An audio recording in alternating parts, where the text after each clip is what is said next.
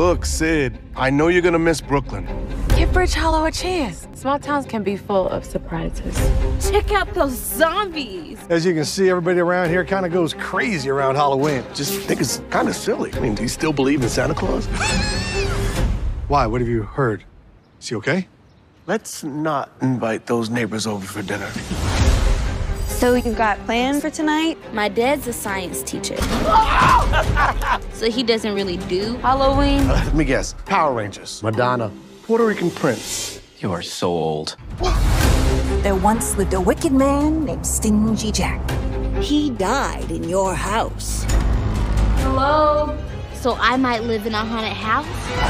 This place just got a lot cooler.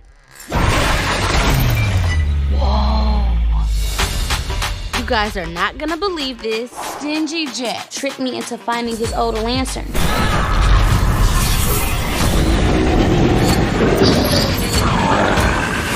And now the Halloween decorations are coming to life. Come on, Sid. That's just not something that happens.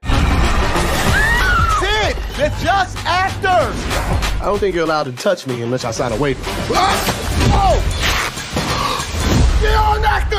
They! Repeat! The clowns are not actors! They have completely taken over Bridge Hollow. If we can't stop Jack by midnight, And every day will be Halloween. This is our house. We are not about to die here. you know what you could do to something that's real? Booyah! You can kick its ass. Hey, Sid, you know what the chainsaw was originally called? A bone cutter.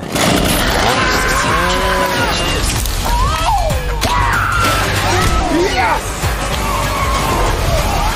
Joe! What's wrong with you? Why would you do that? I am so sorry. But, baby, I, I know. One of these zombies just bit me! Ah! Zombies don't have nervous systems. Good call, Bill Nye the Science Guy. Burn.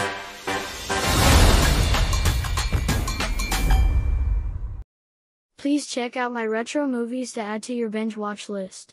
Have I overlooked a good retro movie? Please tell me that movie, and the year, in the comments so I can feature it in a future video. Thank you so much for your time today.